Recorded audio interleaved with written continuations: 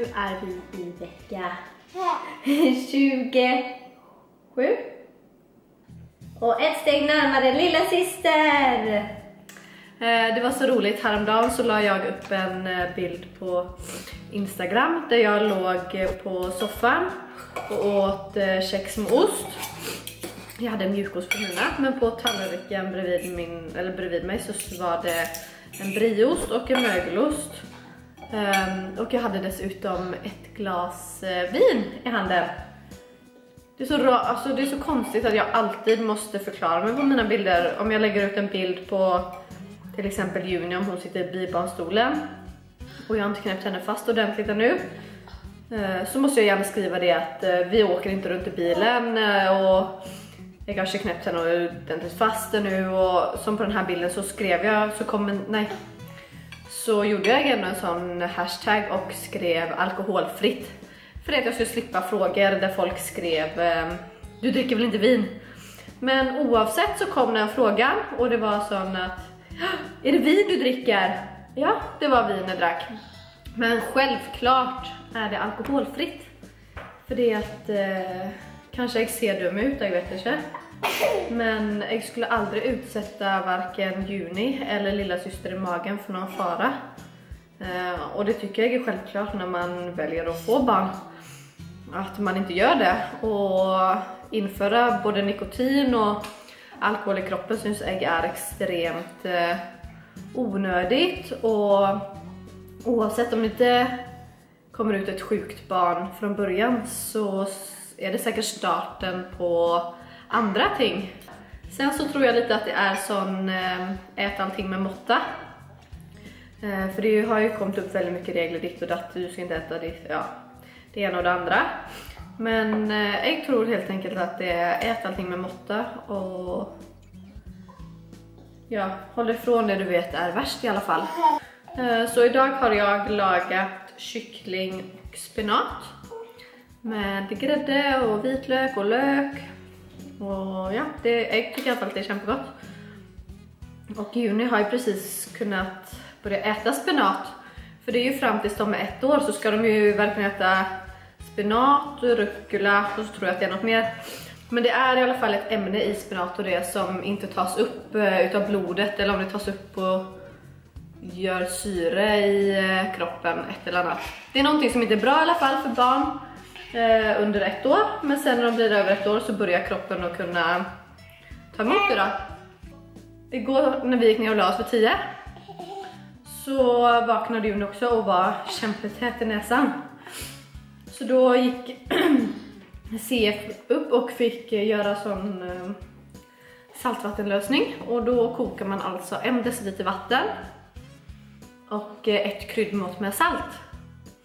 Och så sprutar vi in det, nej du ska inte kasta ner på golvet. Så sprutar vi in det i näsan på henne och igår var det som, här vars, ska du ha spaghetti? Att eh, när vi gjorde det så var det så mycket snor som säkert satt här i halsen. Så, eller ja rätt här, att när vi sprutade in det i näsan så kom det ut genom munnen och det var en sån stor snorklump. Sen, och då var jag jätteglad för det att det var så skönt att få det ut. Så då fick vi sova i alla fall under natten. Eh, och idag när jag vaknade så hade jag en sån känsla, nej det började väl gärna igår, att jag hade väldigt ont i nedre delen av magen. Mm, och det var sån, det är första gången på, under den här graviditeten som jag faktiskt sökte på nätet och bara ont i nedre delen av magen och skulle se vad det berodde på. För det går så snabbt att glömma av alla symptomen som var de första graviditeten även om det inte är länge sedan. Och då stod det att det kunde vara något liniment, tror jag det heter, som håller fast eh, livmodern som växer och någonting som stramar och att det kan vara det som gör att det gör ont. Um, men idag känns det mycket bättre, förutom det att jag har ont i ryggen. Och det fick jag i natt. Eller jag har haft det lite sån av och på för jag kanske hade det förra veckan och jag kommer inte riktigt ihåg. Men eh, jag tror att det beror på sängen jag ligger i och sen eh, så måste jag pröva att inte bära runt på Juni om dagarna. För det är att hon är ju ganska tung och eh, jag börjar ju att närma mig eh, vecka 30 och då, då börjar man bli tung. Då är det inte speciellt många veckor igen. Ja, Okej, okay, det är tre månader. Um, men i alla fall, så min rygg har gjort lite ont idag. Men det hjälper gärna när jag är ute och går, för ligger jag ner så blir den värre. Ehm, så jag vet inte om det är foglossning, jag klarar inte att svara på det. Ehm, för det är liksom runt här det gör ont. Ehm, och det, ja, det är en känsla som gör att jag blir illamående. Men som sagt, jag har ju börjat jobba nu. Sent i graviditeten så börjar jag jobba.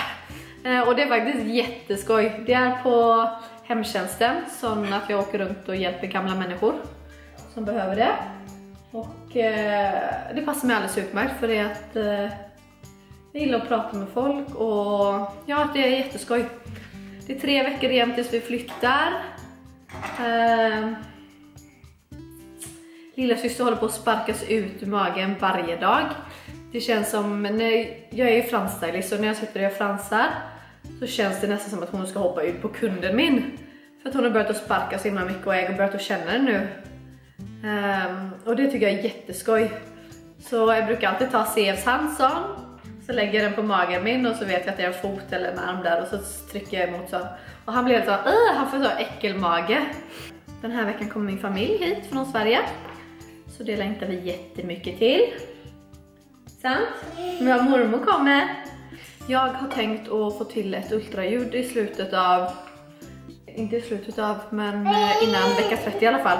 Så har jag lust att ta med er på 3D-ultraljud för det var jag på sista Och det var väldigt roligt att kunna se, för då ser man ansiktet och näsa och allt det här.